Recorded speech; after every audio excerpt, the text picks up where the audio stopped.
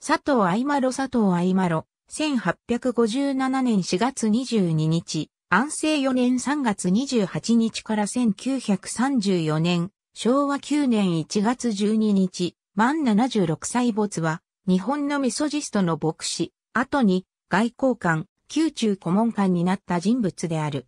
弘前藩画廊、山中一郎安清の次男として生まれる。幼名を二郎と言った。勘定奉行、佐藤清平の養子になり、20歳の時に愛マロと改名する。1875年ジョン・イングより洗礼を受ける。弘前バンドの一人として伝道に従事する。東大義塾創設と同時に入学する。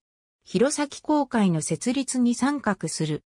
1876年に菊池九郎、本田洋一、イングに引率されて、東北巡行中の明治天皇に謁見し、陳田捨美、伊藤茂らと共に英文演説を法廷した。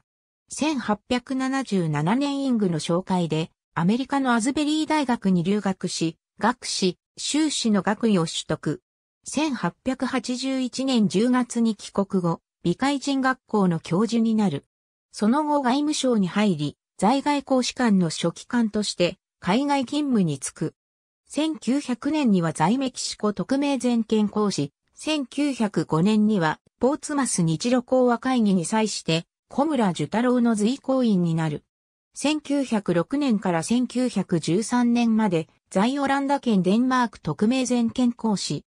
1914年7月から8月の開戦まで在オーストリア特命全権大使、在スイス講師の兼任は1913年から1916年、1916年から1918年まで、在アメリカ合衆国特命全権大使。1918年外務省を退官すると、宮内省に入り、三宅別当、宮中顧問官を務めた。1934年1月11日、動脈硬化症で倒れ、翌日に狭心症を併発し死去する。去年78歳。ありがとうございます。